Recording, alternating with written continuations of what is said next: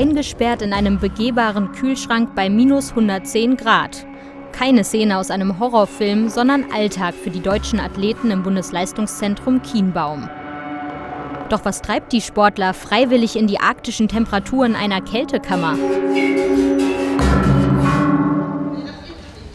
Zwei Stunden zuvor. Zusammen mit den anderen Turnerinnen der deutschen Jugendnationalmannschaft bereiten sich Kim und Nicole auf die nächsten Wettkämpfe vor. Die beiden Mädchen sind Hoffnungsträgerinnen. 2016 sollen sie bei den Olympischen Spielen in Rio de Janeiro turnen.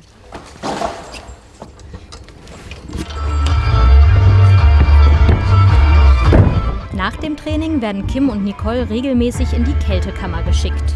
Durch die extremen Minusgrade soll die Regeneration gefördert und Muskelkater abgemildert werden. Effektiver als beim einfachen Dehnen. Ist es richtig schmerzhaft? Ja, nach einer Nein, Weile schon. Also es tut nicht unbedingt weh, man muss sich halt auf sich selber konzentrieren. Für mich ist es schon irgendwo schmerzhaft, weil ich war gestern das erste Mal drin. Und dann mal gucken, wie es heute wird. Seit drei Jahren gibt es das sogenannte Ice Lab im Bundesleistungszentrum Kienbaum, 50 Kilometer östlich von Berlin. Bundestrainerin Ursula Koch hat es selbst ausprobiert und war begeistert vom Effekt.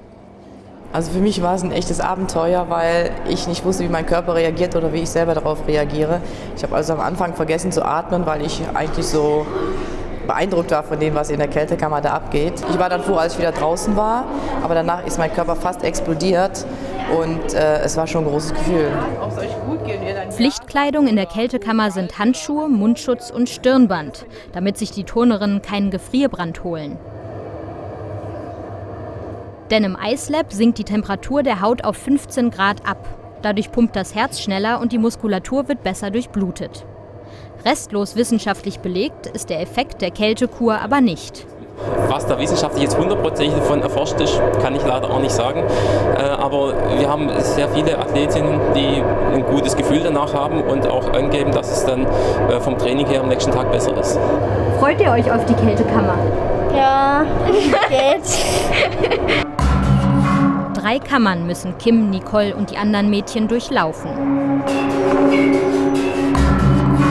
Die erste und zweite Kammer mit minus 10 und minus 60 Grad dienen zur Eingewöhnung und sind noch harmlos im Gegensatz zum letzten Raum des Ice Labs. Die nächste Kammer. In der dritten Kammer mit minus 110 Grad soll jede Turnerin so lange bleiben, wie sie die Kälte ertragen kann. Geht's euch gut?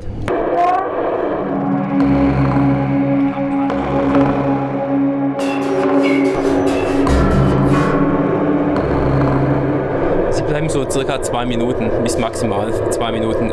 Wenn es Ihnen nicht so gut geht, kommen Sie früher raus. Ihr habt zwei Minuten. Diese Mädchen waren tapfer. Alle haben bis zum Schluss durchgehalten. Wie fühlst du dich jetzt? Irgendwie erfrischender. Nur meine Füße sind ein bisschen kalt.